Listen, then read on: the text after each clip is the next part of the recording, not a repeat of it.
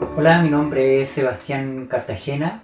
Yo llegué a trabajar al Festival de Cine Recorrido del Paraíso el año 2016 y eh, justamente en ese sentido mi labor como encargado de mediación, ya como encargado de mediación audiencia del festival, empezó a tener este sentido de trabajar, por ejemplo, con los adultos mayores, eh, en el sentido de la memoria colectiva, del tema de la, de la nostalgia, eh, y empezamos también a trabajar nuevas formas de programación también vinculadas directamente con el mi labor, si bien era la convocatoria de los públicos, también tenía que ver eh, con que las personas tuvieran una cierta cercanía con el festival, que fuera un espacio de encuentro, de conversación, de reencontrarse con, con los gustos, con las cosas que les gustaban a ellos. Entonces en ese sentido fue, fue algo bien, bien bonito y, y por otro lado, además de los públicos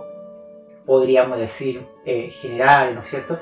Eh, también empezamos a trabajar con las escuelas, eh, con los liceos de Valparaíso y con ellos pudimos llevar las máquinas de 35, perdón, de 16 milímetros, pudimos llevar las, máquinas de 16 milímetros, las proyectoras, las llevamos hasta las escuelas para que los niños las conocieran y también para que pudieran ver películas en ese formato. Se fue toda una experiencia, algo muy mágico y eh, ahí, desde ahí también empezamos a descubrir que los niños y las niñas eh, pueden sentir de igual manera una fascinación por los inicios y los orígenes del cine. Más allá si la película es nueva, es antigua, tiene que ver, digamos, con una, con una cosa de la experiencia que ellos pueden lograr tener. Y en ese sentido, el Festival de Cine Recobrado tiene esa magia, tiene esa, esa forma de poder llegar a las personas.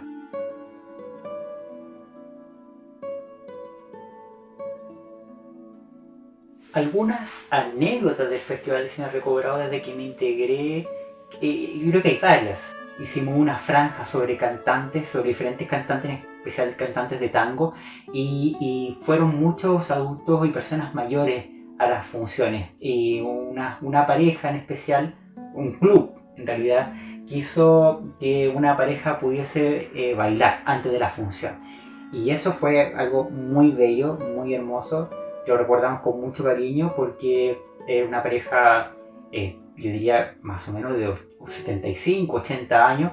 y ellos bailaron en el escenario, y abrieron, lo acompañaron además amigos, eh, entonces creo, creo que fue algo que, que mm, nutrió mucho más la, el, hecho de ir a ver una película, sino que se transformó en algo mucho más cercano, como comentaba naturalmente. Entonces, esas anécdotas finalmente van quedando en, en la memoria de las personas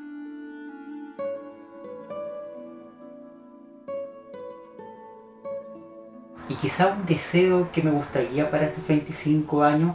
es que más personas pudiesen conocer el festival, más personas pudiesen acercarse a conocer la experiencia que transmite el festival, eh,